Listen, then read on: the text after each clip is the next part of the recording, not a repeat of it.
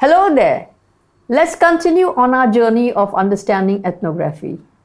In the last module, I shared my experience of painting with the Bhil artists and how through this participation, I learned the importance of painting in their lives.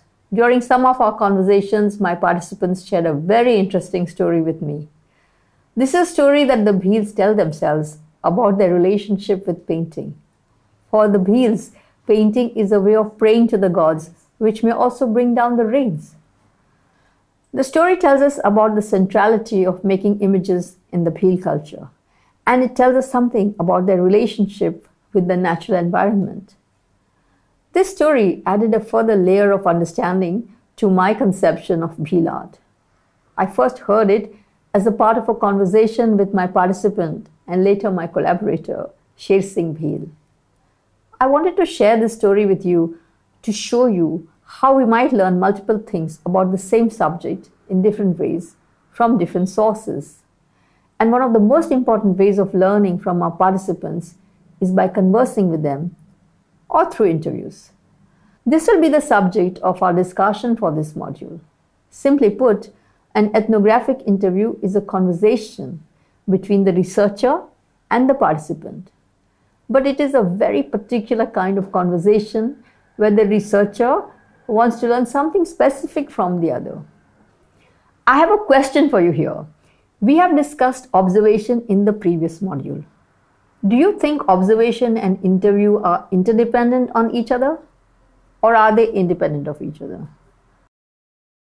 Some of you may have said that interview and observation are different research tools and hence they are independent of each other. Others may be of the opinion that they are interdependent. This is the most appropriate answer. In an ethnographic research, learnings gathered from different sources through different means feed into each other. In fact, as you will see later in our discussion, observing is a key part of every interview. In this module, we will focus on understanding some of the fundamental characteristics of the ethnographic interview and the value of interviewing as a research tool. We will discuss how to do an ethnographic interview and how to record our learnings. Somewhere along the way, we will touch upon the importance of narratives and stories as ways of learning from our participants. We will deliberate on some of the ethical and practical concerns common in interviewing, such as the safety and privacy of our participants. Interviews in ethnography can take varied forms. Sometimes we happen to meet a participant accidentally. We strike up a brief conversation asking questions that arise then and there. Other times we engage in conversations as we accompany them in some activity. And sometimes we sit down with them and have long conversations about a specific topic. By some definitions, these may all fall within the broad ambit of the ethnographic interview. On the other hand, some people would only apply this definition to in depth exclusive conversations with one or two participants at a time focused on a few topics. Let's look at an example.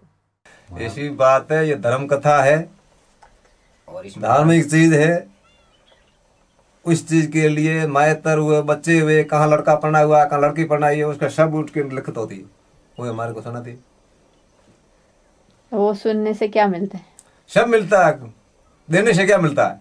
सुनने से सब कुछ मिलते है। देने से कुछ नहीं मिलता। ये तो धार्मिक चीज़ है।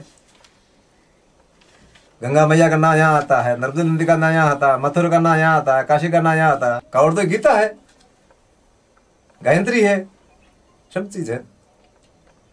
कावड़ से दूसरी चीज़ सब कावड़ आगे है। धार्मिक जो चीज़ होती है वो कावड़ ही है, और कुछ नहीं। या तो कावड़ होती है, या अन्न का और जल का दान होता है। पैसे की कोई ज़रूरत नहीं देने लेने से क्या मुनिया राज्य होती हाथ का हाथ में किसी को पानी पिलाया यू मिलेगा या अन्न खड़ा आगे मिलेगा। माया यहाँ रहेगी। लड़के साथ बहदे नहीं माता बहेगी नहीं पिता बहेगी नहीं स्त्री को साथ कोई नहीं चलेगा। हाथ का पन्ना साथ चलेगा। बस।